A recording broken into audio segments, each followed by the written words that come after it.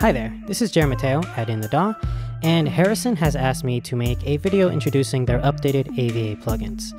These plugins come in AAX, VST, and audio unit format, making them accessible to nearly any digital audio workstation and NLE. Harrison is a 40 year veteran of the audio industry, and they bring something really special to their products. They still make analog and digital consoles in their Nashville facility, and this helps them understand what professionals use and what professionals need. One of Harrison's latest plugins is the AVA de-esser. This is something you would use if you boosted the high frequencies of a singer's voice in order to help them cut through the mix, but this has led to some unwanted sibilance.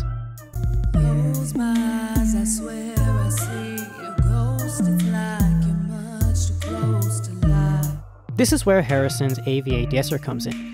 Harrison launched the AVA de-esser earlier this year, and today they're launching the version 2 update and this has added a new spectrum display that helps you dial in the exact frequencies in your sibilance.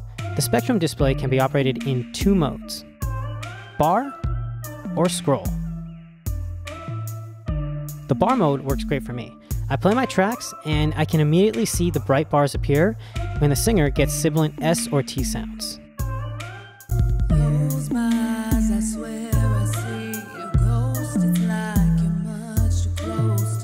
And as you hear already, it sounds much better than it did before.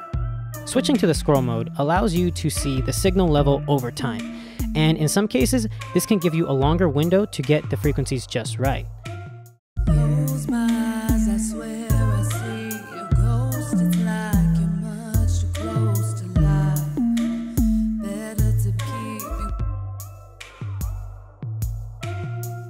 Of course, you can use the controls for sensitivity and decay to fine tune the way you want your RTA to respond to the signal, and it's definitely something you should take a look at. Anyway, that's all the time we have for today. I have a feeling you're going to love this newest update, and feel free to grab a demo or download your free upgrade.